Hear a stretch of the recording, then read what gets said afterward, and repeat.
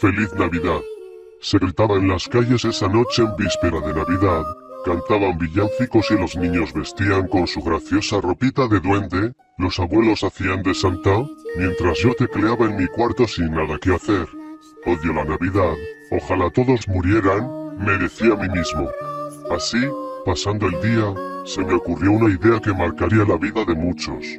Mis vecinos, una familia promedio con dos niñatas, una de ocho años y otra más pequeña, de cinco años, que desperdigaban el dinero en Navidad y pintaban una linda y perfecta familia.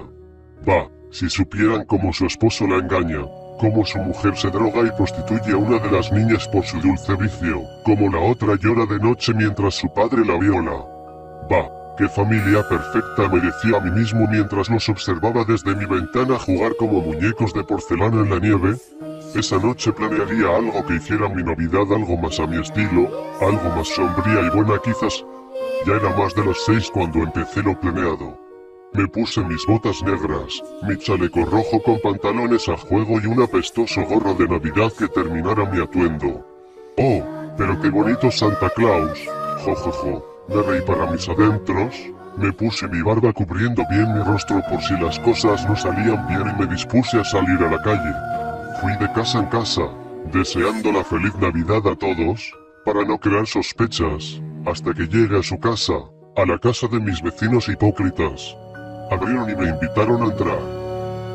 Feliz Navidad, niñas, les decía mientras les daba vueltas en el aire a una. Entonces fue cuando empecé a jugar con la familia. Tomé un cuchillo que tenía en mi barba y se lo lancé a la madre justo en la cabeza, matándole en el impacto. Las niñas gritaban, no griten, mis dulces duendecillas, que será peor. Entonces les corté la lengua y les arranqué los labios lentamente, luego se los hice comer. Me pareció divertido.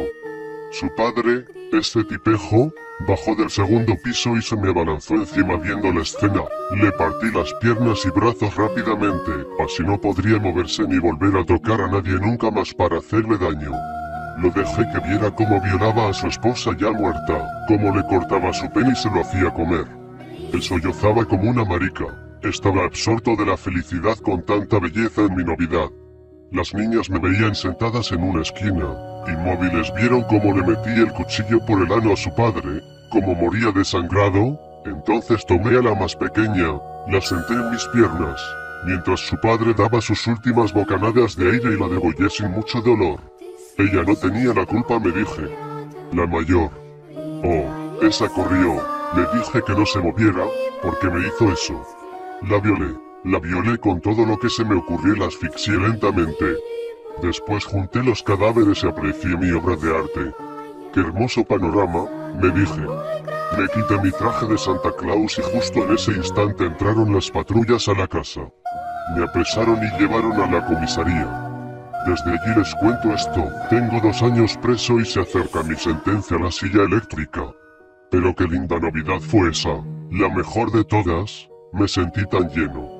Por eso, lo último que les digo es feliz Navidad. Espero hayan olido el lindo olor a sangre que les dejaré y recuerden.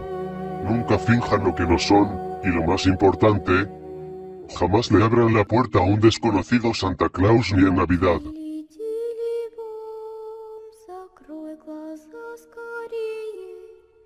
глаза скорее, кто-то ходит за окном.